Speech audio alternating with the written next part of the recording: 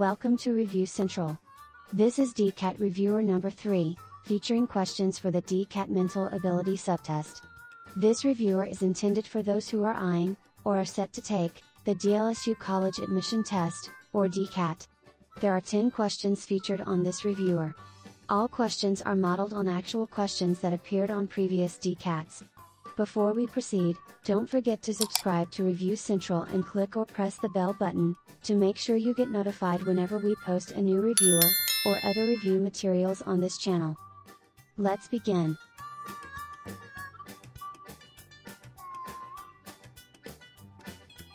Question number 1. If a number is multiplied by 7, the result is 63. What is 5 times the number? A. 35. B. 36. C. 40. D. 42. E. 45.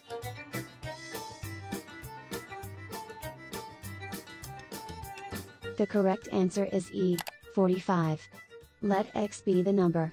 Multiplying the number by 7 will give us 63. Hence, we can easily solve for x to be 9. Therefore, 5 times the number is 45.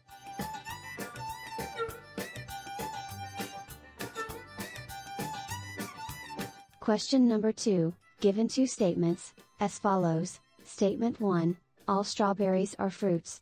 Statement 2 No fruit tastes bitter. Disregarding commonly known facts, which of the following logically follows the two given statements? A. Some fruits taste bitter. B. Some bitter things are fruits. C. No strawberry tastes bitter. D. All of the preceding. E. None of the above.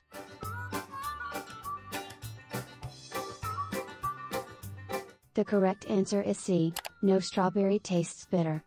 The given statements and their relationships and or interactions can be represented in a Venn diagram as shown. You may press the pause button and take time to study the Venn diagram. Let's evaluate the given answer choices based on the generated Venn diagram. The statement, some fruits taste bitter in option A cannot be true, since it is already clearly stated in statement number 2 that no fruit tastes bitter, as clearly shown by the shaded areas 3 and 4. The statement, some bitter things are fruits in option B is not a logical conclusion either. The same shaded areas 3 and 4 in the Venn diagram clearly indicates that no fruits are bitter and no bitter things can be fruits. The statement, no strawberry tastes bitter in option C, on the other hand, is a logical conclusion. Why? Because areas 3 and 6 which are the areas common to both strawberries and bitter, are both shaded, signifying that, indeed, no strawberry tastes bitter. Take note that many logical reasoning problems, particularly syllogisms, are answered with the help of Venn diagrams. Although it is possible to solve syllogisms without using Venn diagrams, using Venn diagrams can be the easiest, fastest, and most consistent way to solve syllogisms. Therefore, it is highly recommended that you learn how to use Venn diagrams. Check out the suggested link in the description for a video tutorial to quickly learn the basics of using Venn diagrams and solving logical reasoning problems.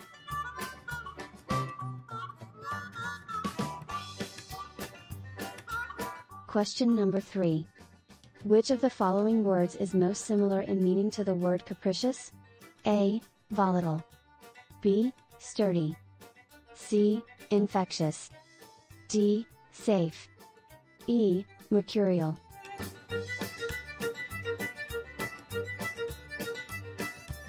The correct answer is A. Volatile. Capricious means sudden change in mood or behavior which is closest in meaning to the word volatile.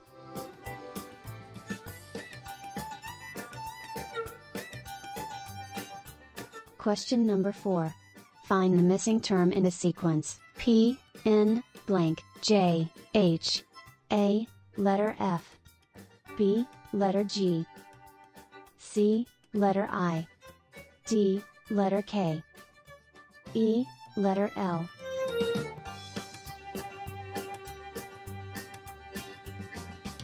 The correct answer is E, letter L. To complete the letter sequence, simply skip one letter backwards in the alphabet, starting from P. P, skip O, N, skip M, blank, skip K, J, skip I, H, Therefore, the missing letter in the sequence is L. Question number 5. Referring to the numbers on the table to the right, which number is the odd one out? A. 18. B. 24. C. 51. D. 65. E. 71. The correct answer is E, number 71 is the odd one out. Why? Because 71 is a prime number, while all the others are not. By the way, did you know that there are 25 prime numbers between 1 and 100? Prime numbers include large numbers and can continue well past 100. You will probably not need to know prime numbers beyond 100, but it may be a good and worthwhile idea to know and memorize, if possible, all the prime numbers below 100, as they are often featured in many mathematics and numerical tests.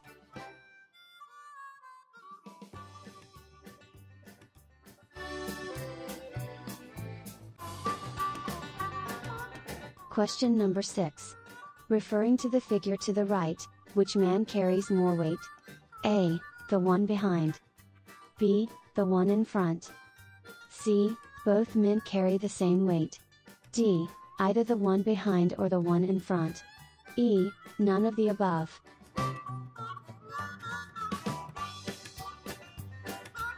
The correct answer is B, the one in front.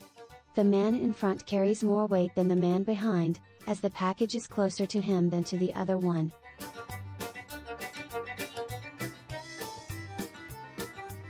Question number 7. Which figure best completes the pattern?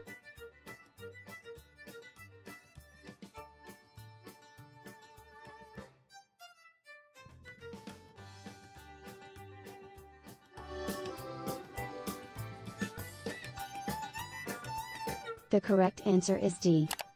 The missing figure must have a square, circle, down arrow, and star. This is to make the missing figure identical with the figure in the first quadrant, since the figures in the second and fourth quadrants are identical.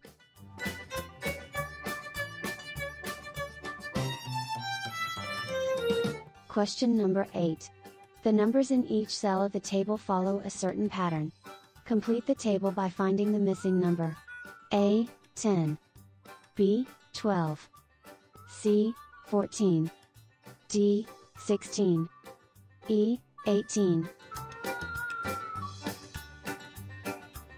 The correct answer is C, the missing number is 14. The number sequence is 2, 4, 8, and 14, in alternating up and down positions, with each number paired with its square. That is, 2 squared is equal to 4, 4 squared is equal to 16, 8 squared is equal to 64. The missing number, when squared, must be equal to 196. The square root of 196 is 14. Therefore, the missing number is 14.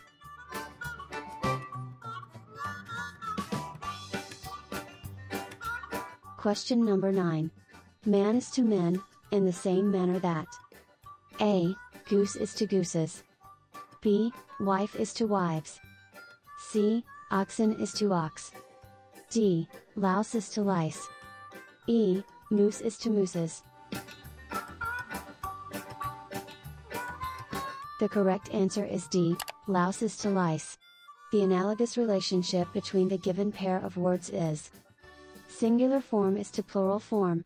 Men is the plural of man, in the same manner that lice is the plural of louse. On the other hand, the plural of goose is geese, not gooses, and the plural of wife is wives, not wives. Oxen is indeed the plural of ox, but their positions have been swapped. Insofar as moose is concerned, the only correct plural is also moose. Sometimes people add an s to moose, but that is incorrect. Moose derives from Algonquian, a Native American language. It kept the same plural ending it had in its original language instead of adopting the normal s ending of most English plurals.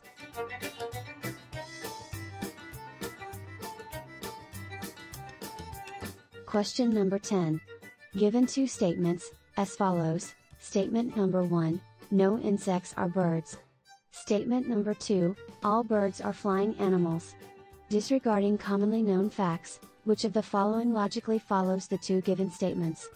A. Mm-hmm. No animals are birds. B. All animals are birds. C. All birds that are animals are also insects. D. Some birds that are animals are also insects. E. None of the above. The correct answer is E. None of the above. The given statements and their relationships and or interactions, can be represented in a Venn diagram as shown. You may press the pause button and take time to study the Venn diagram. Based on the generated Venn diagram, none of the choices can be concluded. There is actually a fundamental flaw to this syllogism that, if you noticed it on the onset, should make you immediately conclude that none of the options can be a logical conclusion for the given statements. That is the use of the modifying adjective, flying, in the second statement. So in the second statement, it is specified not only that all birds are animals, but that they must be flying animals. However, none of the answer choices specified flying animals. Nevertheless, even if we remove the modifying adjective flying in the second statement, none of the answer choices can be deemed as a logical conclusion still, based on the Venn diagram. The statement, no animals are birds in option A, is not a logical conclusion, since there's the unshaded area 4, which suggests that animals can be birds. The statement, all animals are birds in option B is also not a logical conclusion, since there's the shaded area 3, which suggests that some animals are not necessarily birds. The statement, all birds that are animals are also insects in option C is also not a logical conclusion. Why? Because all birds that are animals are represented by area 3. But it is shaded, which means that birds that are animals are not insects. Finally, the statement, some birds that are animals are also insects in option D is also not a logical conclusion, following the same reasoning we used in option C. Therefore, the correct answer is E. Take note that many logical reasoning problems, particularly syllogisms, are answered with the help of Venn diagrams. Although it is possible to solve syllogisms without using Venn diagrams, using Venn diagrams can be the easiest, fastest, and most consistent way to solve syllogisms. Therefore, it is highly recommended that you learn how to use Venn diagrams.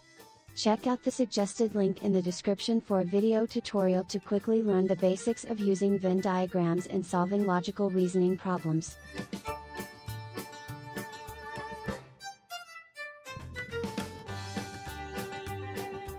You have just completed DCAT Reviewer number 3, which featured questions for the DCAT Mental Ability Subtest. If you wish to watch more DCAT reviewers for the DCAT Mental Ability Subtest, check out our DCAT Mental Ability Reviewers playlist. Check out also our other DCAT playlist for other reviewer topics. If you haven't done so yet, please don't forget to subscribe to Review Central, and click or press the bell button to make sure you get notified whenever we post a new reviewer or other review materials on this channel. Please like if you find this video useful, and feel free to share to anyone who may also benefit from it. We wish you all the best on your forthcoming DCAT, and we look forward to your exciting days as a Lasallian. Animo LaSalle